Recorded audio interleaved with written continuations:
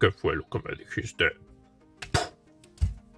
Hola a todos, ¿cómo están? Espero que muy bien. El día de hoy, como pueden ver aquí en sus pantallas, tenemos la figura de Balrog del Street Fighter de la colección hecha por Sota Toys y que como pueden ver aquí en sus pantallas, así luce su empaque por enfrente.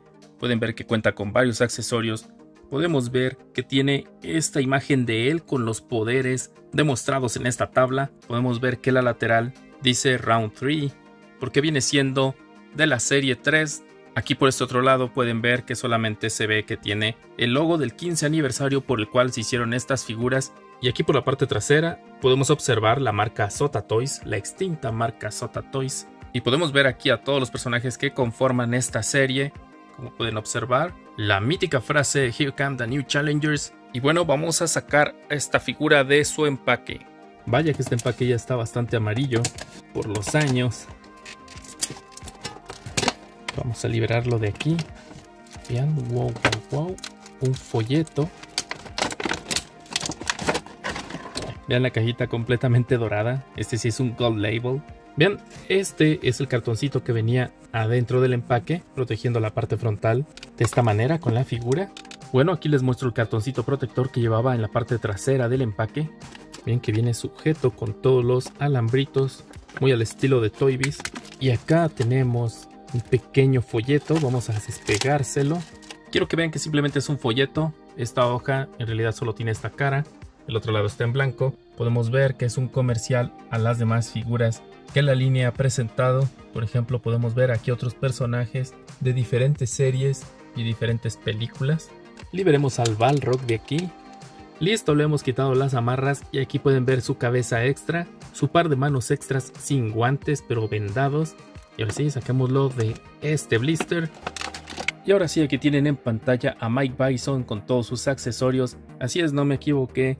En realidad Balrog se llama Mike Bison o M. Bison como tú conoces al villano principal. Pues no, el nombre fue pensado para este personaje. Y es que en Japón aún se le sigue llamando Mike Bison como es porque este personaje fue inspirado en, ya saben, el famosísimo campeón de pesos pesados Mike Tyson, al cual pues no le causó mucha gracia que hicieran un personaje de él para un videojuego, y pues por sugerencia del mismo decidieron retirarle el nombre de Mike Bison a este personaje, se lo cambiaron a Vega, y por eso a Vega lo conoces con el nombre de Bison, pero en realidad no, este viene siendo Bison, el otro es Vega, y al que tú conoces como Vega, pues en realidad es Balrog.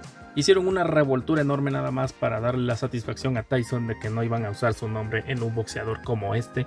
pues bueno, aquí lo tienes. A mí en lo personal me gusta más decirle Bison porque pues es el nombre original. De este lado del charco pues ya no lo trajeron como Balrog. Y bueno, si a ti te agrada, vamos a decirle Balrog Bison como se nos antoje durante el video. Como ya te lo había mostrado, aquí puedes observar sus guantes están muy muy bonitos. Tiene todo este detalle en el esculpido como puedes observarlo. Se le pueden ver incluso las costuras. El rostro me genera mucha curiosidad de saber si lo va a sacar Yada Toys. No tengo idea si va a superar este rostro que para mi gusto está súper bien logrado. Se ve hermoso el detalle. Vamos a cambiarle la cabeza. Y los guantes. Y uy, uy, uy, vean nada más que figurón.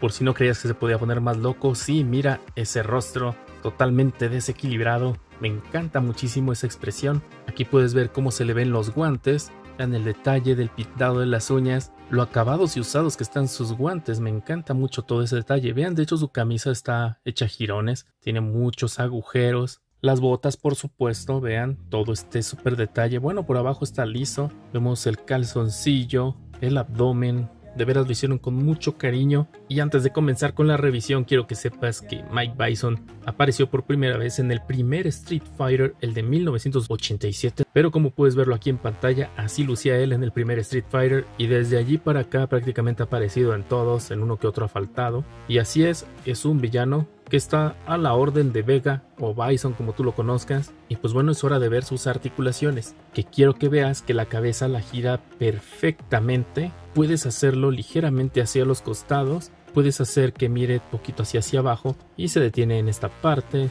Prácticamente solo es este movimiento. Vean el giro completo de su brazo en esta zona. Tenga mucho cuidado porque esta zona sí está rígida, no es plástico suave, y se pueden lastimar el dedo. Vean que abre los brazos bastante así. Hacia el frente lo cierra. Todo esto nada más. Podemos ver que tiene este giro en el bíceps. Quiero que vean que tiene este doblez único en el codo y eso es todo lo que dobla. Vean nada más el grueso de esto. Es un personaje bastante imponente. Tiene este giro en la zona alta de su guante. Puede doblar los puños tanto hacia hacia adentro y tanto hacia hacia afuera. Del abdomen vemos que tiene este movimiento tanto así hacia abajo y tanto así hacia arriba. Puedes hacer que las piernas vayan de atrás hacia adelante solo en esta posición. Tiene las piernas muy gruesas y de hecho acaban de ver que lo destapamos nuevecito y vean lo que les he comentado de conservar figuras muy viejas encerradas. Terminan por irse aflojando. Ya es naturaleza de la figura. Vean esta doble articulación en la rodilla. La articulación de esferita nos puede servir para que gire de esta manera la pierna por completo. Como ya vieron puede abrir tanto así nada más hacia los lados. Podemos hacer que gire la bota por completo. Podemos hacer que baje su pie tanto así. Que lo eleve tanto así. Y si le ayudamos con los dedos pues miren tanto así lo levanta también. Regresamos a ver esta horrible división en esta zona que no sé en qué estaban pensando. Pero miren pues ya está. Hay que usarla. Podemos usarla y se gira bien. Pues bien amigos, este boxeador norteamericano que alcanza 1,98 m, según su base de datos, podemos comprobar que es bastante alto en figura, ya que casi alcanza los 18.3 centímetros de alto, lo que es poquito más de 7 pulgadas. Miren cómo luce al lado de figuras de su misma línea, aquí lo tienes con Blanca, también del Street Fighter, y de este lado con T-Hawk. Siento que las proporciones están muy bien cuidadas, ¿Qué te parece ahora comparado con Ryu de SH Figures y por este otro lado con el nuevo Ryu de Yada Toys? Como puedes ver, las proporciones son muy buenas. Bien, aquí te lo presento con otros fighters de otros videojuegos de combate. Por un lado tienes a Terry Bogard de la marca SH Figures y del otro lado a Kazuya de la marca Game Dimensions. Aquí lo puedes ver ahora al lado de Krillin, hecho por SH Figures, y del otro lado con Scorpion, hecho por McFarlane Toys. Y por último aquí lo puedes ver con Longshot, hecho por Hasbro, y con Batman de Mattel.